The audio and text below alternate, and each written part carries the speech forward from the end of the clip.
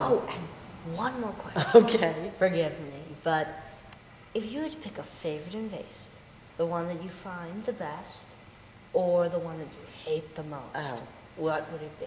So, so the worst invasive I know, basically? Sure. That would be hydrilla. Hydrilla. That's the plant that I've been working on since when it first showed up on Lady Bird Lake, I mean, excuse me, on Lake Austin in 1999. And it can grow in water as deep as 30 feet. It can, when it, when it hits the surface, unlike most aquatic plants, it doesn't stop growing, it continues to grow. And so, left alone, you get these three to four foot thick mats that are literally almost like bales of hay floating on the water surface where birds can walk on the surface, boats cannot get through this stuff. Um, and it can regrow from a tiny fragment, even an inch long, as long as there's one little node with leaves on it.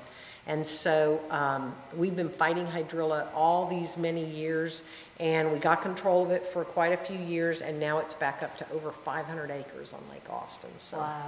that's my that's the one that I dislike the most from a professional standpoint. From a personal standpoint, point because I only I live out in the Texas Hill Country. The plant I probably hate the most on my own property is KR blue stem. The ah. grass that you see growing along the sides of all the roads in the country, out in the hill country around this area, it's what's blooming right now. It mm-hmm. has kind of a little purple, mm-hmm. feathery looking flower, and it has completely taken over pastures oh, and com- and outcompeted all of our native grasses and, you know, replaced our beautiful native prairies with just this horrible monoculture.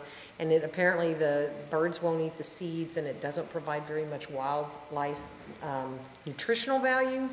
And like so many other native plants, it was planted on purpose by whether it was Department of Agriculture or, you know, ranchers or something in Texas and throughout other parts of the country um, to be able to limit erosion and provide food for cattle.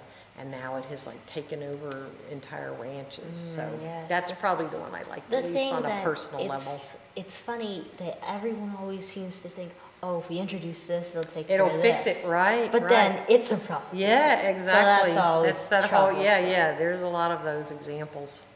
And with hydrilla, I have the funniest story about hydrilla. Me and my friend, we once went down to the lake, and our mothers were talking up on the rocks, mm-hmm. and we were walking in the lake, and my friend, he's looking down, and he says, "Ben, what's all this stuff growing in the mud?" Because he knows I know Yeah, all yeah, about yeah. plants. And I said, "Oh, I'm not sure, but I think it's hydrilla." But I was, I, well, I didn't know Yeah. a lot back then. Yeah.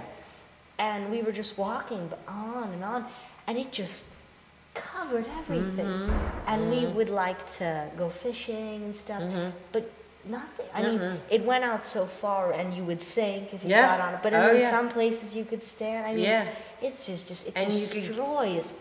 There was nothing else. Yeah, and the worst part with, with recreation is besides the fact that it make, boats can't move through it very easily, it's really dangerous to try and swim in because it's so thick that it can tangle around your legs.